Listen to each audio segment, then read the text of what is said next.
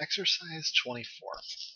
In this exercise, we take a look at Creo's capabilities with surface modeling and importing an actual uh, bitmap image or actually JPEG image and, and tracing around it to create this surface on the spoon. Okay, so let's begin. File, New,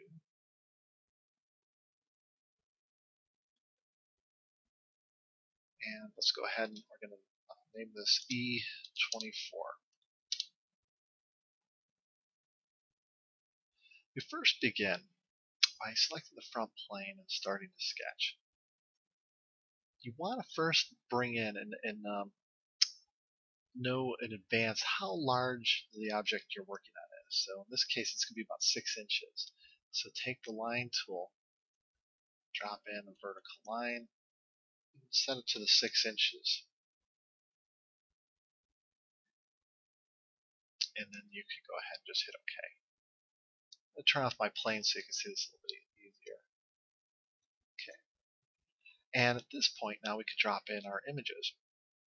To do this you go to View and find the uh, model display. And underneath there you'll find images. Select the plane you want to drop the image on. I'll actually first select uh, add a little cactus there and then go select the plane you want to drop it on. And you just have to search for the part.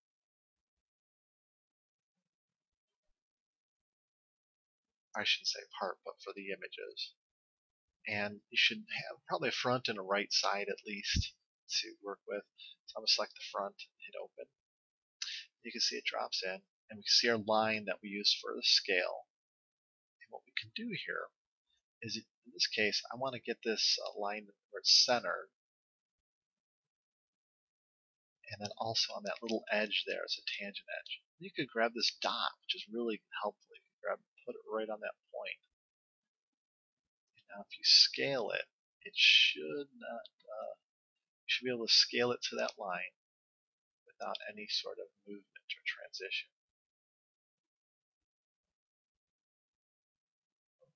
That's it. Hit OK. Now go ahead and do repeat the steps again. Go back to Model Display Images. Um, click on Add, and this time select the right plane. And we're going to go ahead and find that same file, but this time we want the right side JPEG image. And notice the file, uh, all types of files that are in here. You could search for TGA, TIFF, bitmap, PNG. Hit open. And we're going to go to the right view orientation. And pretty much do the same thing. Want to line this up at the bottom where we see our little tangent edge. Get that right on that edge and move the red dot over to it. And now we can just rotate it. It's not going to be quite 90 degrees. You actually want it to intersect a little bit. If it's 90 degrees, it's going to be too far away from the end. So Then just grab this, drag it up. There we go. That's it. Hit OK. Now you have front and the right side views. We're going to begin by tracing the front view on the left left side. So I'm going to select the front plane and go to Model, Start a new sketch. For the base, because we want a nice smooth transition from this little end of the spoon to the top, right here in alignment, draw, zoom up to this, and draw just a vertical center line so we could align a tangent to it as we draw our spline. Take the spline tool, now on that end there, click, and quickly get away from the center line so you don't keep snapping to it. And I'm a believer that less is more as far as spline points when you can help it. It's a lot easier to control and it looks smoother. And when you get to these edges here where there's a bend in it, you're going to have to put a lot more. Just accidentally snap to that center line. Not a problem. I'll have to fix that in a moment. Now, when you get up here, stop before you get to the end. You want it a little bit of a distance away and actually have it come out a little bit like this because you're going to want to probably trim the end off because it comes off kind of strange. If you want to thicken it eventually, it might have some issues. Middle click. This one, the middle click a couple times. Get rid of that relationship there.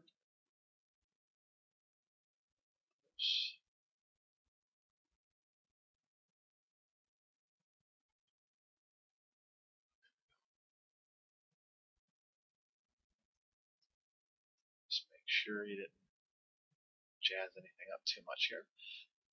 Okay. And finally, go to tangent under constraint and add a tangent constraint between your spline and the vertical center line. And that's it. Hit the green check mark. So now we have our outer edge. Now we're going to go ahead and select the right plane, start a sketch. And this time we're going to follow this edge here on the inside because that there's a bevel on the top. So let's go again with the spline tool right in the center here. Just follow that up.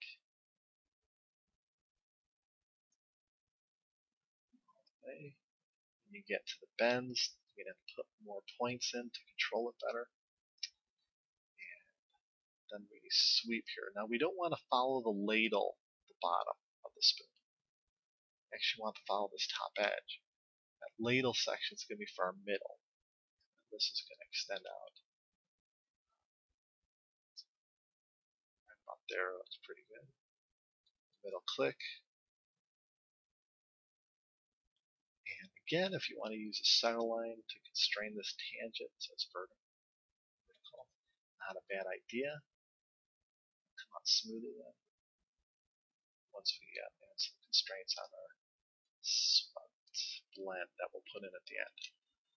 Okay, hit the green check mark. Okay. Now we can take that. We're going to use that curve that we just drew as our tool here. Extrude it, flip it so it actually goes underneath the curve that we drew on the side there. As long as it goes beyond that curve, you're in good shape.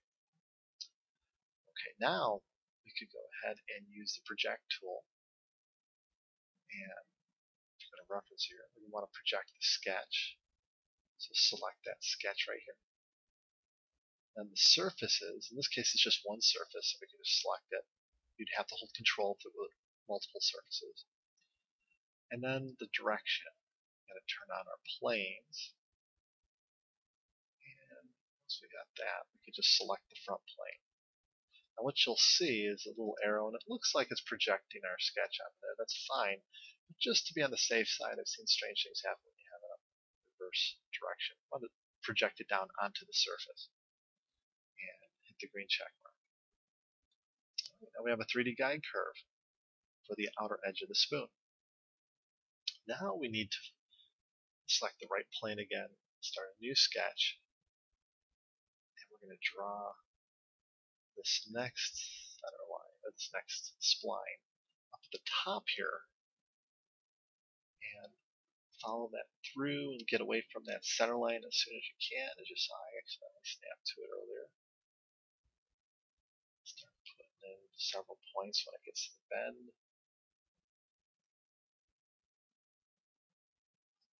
And then this is where you follow the ladle section down below.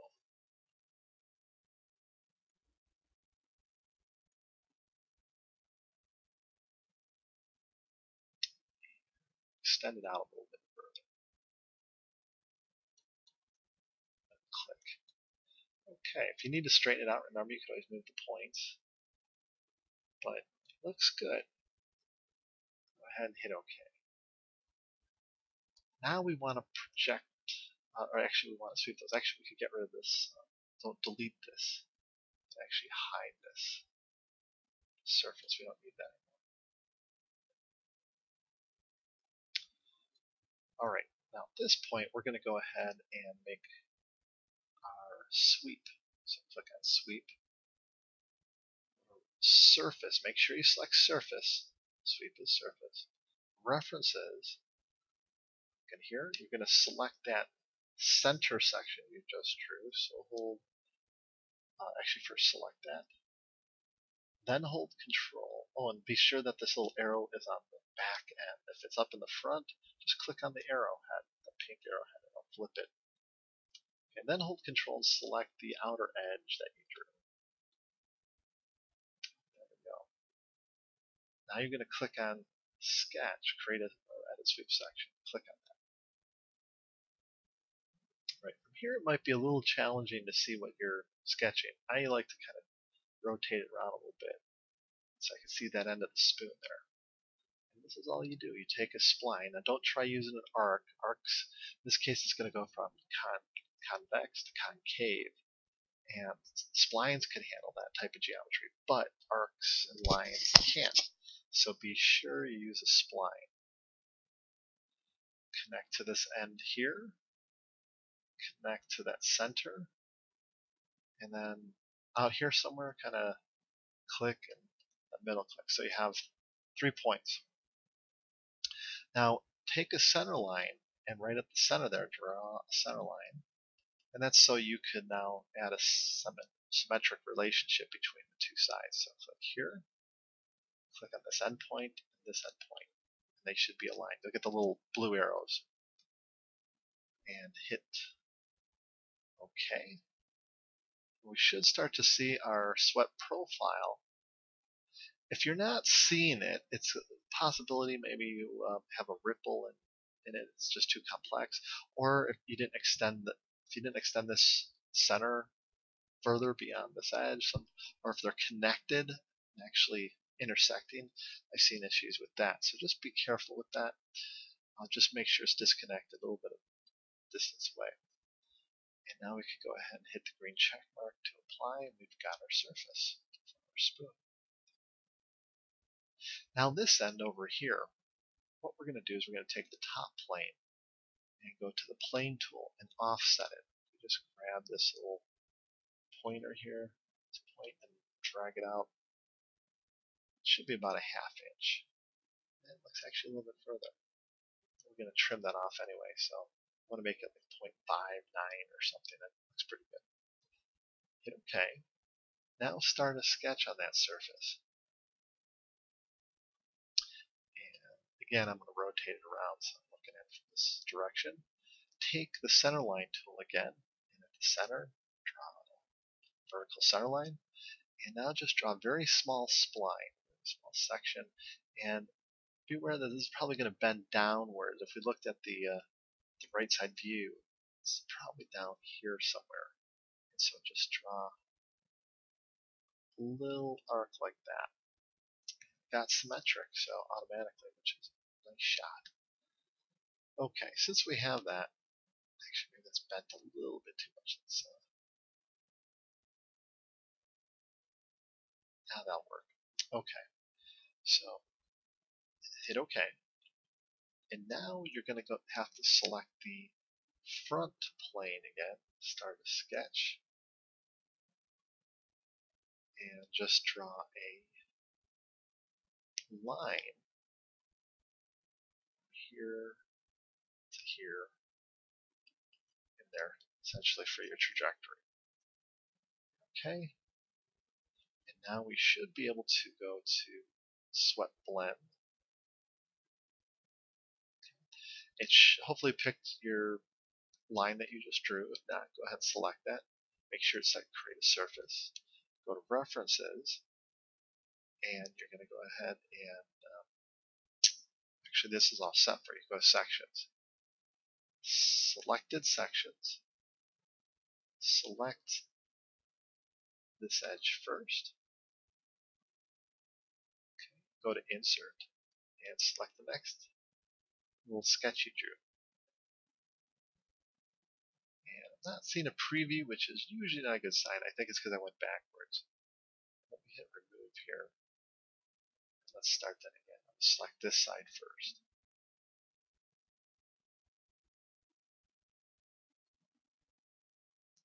Alright. hold on a second. Let me just make sure. Ah, went to the wrong one. Okay. So now, let's remove that.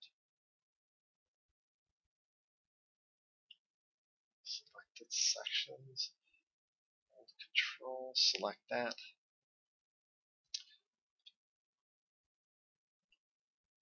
Unfortunately, it's not coming up. I think maybe I might have to have that line attached there.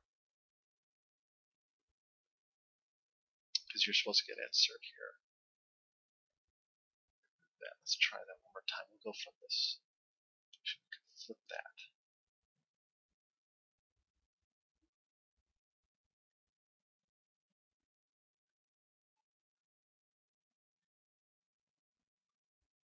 Cancel. I'm start over on that. Swept blend, surface, references, going to be our line there have it come out this way. Okay, now I go to sections, selected sections.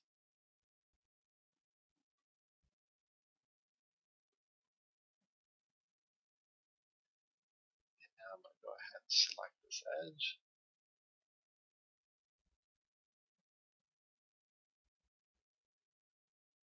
Problem is I'm holding control when I'm doing it. That's not helpful.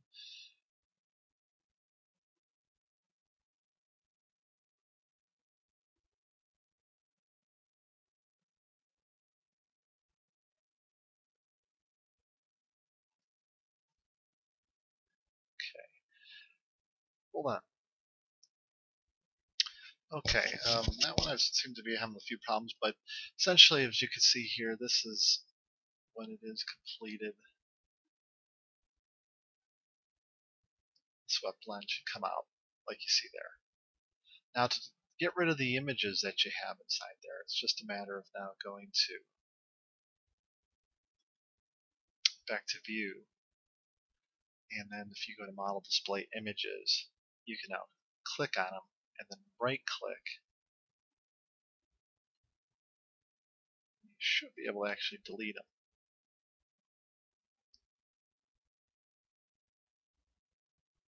Oops, let me undo that. Display images. Click on the image. hide it. There we go.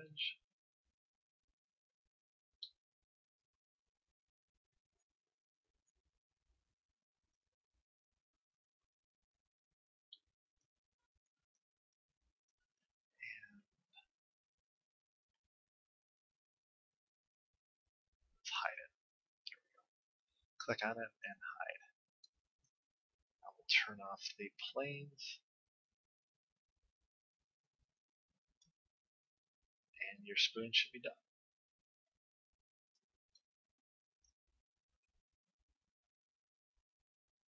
And that concludes this exercise.